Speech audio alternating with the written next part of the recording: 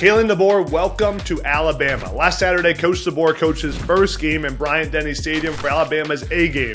Yes, it was only a spring game, but the hype in Tuscaloosa has not let up since Nick Saban left. The official attendance for the game was, get this, 73,000 people for a spring game, not even a real game.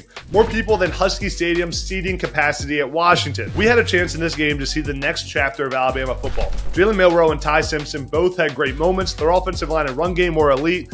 Kalen DeBoer used motion, a tunneled offense, which is bread and butter. And Germie Bernard proved he's going to be a great wide receiver one. So how does Nick Saban feel about Kalen DeBoer taking over? During an in-game interview, he told Molly McGrath, quote, Kalen's a great coach. I know there's been some disruptions based on me leaving, him coming, but he's going to do a great job, end quote. I believe Kalen DeBoer is one of the top three coaches in all of college football. And with now the resources he's going to have at Alabama, I expect him to win a lot of football games in the future and a national championship.